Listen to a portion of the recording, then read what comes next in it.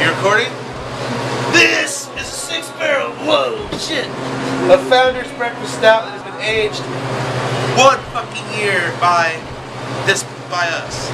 We're tapping it tonight, and this is and you're about to watch this shit get tapped. The fucking end? This is monumental shit. Uh, Flying Saucer, suck my dick. Oh, I guess we shouldn't post that now. That's what we're pouring the breakfast out in. Designed by Adam Compa, the hobo himself. 6.5 ounces of pure fucking half chub. Alright, where's the fucking? You see that? Follow the weasel leakage.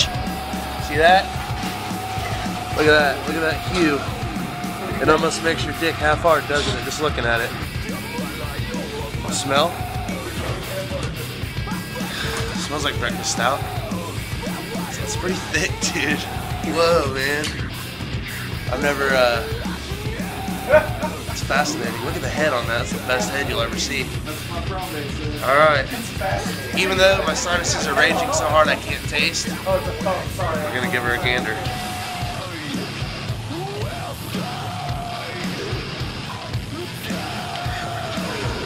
That's fucking killer! Oh, that concludes the session. See you in hell.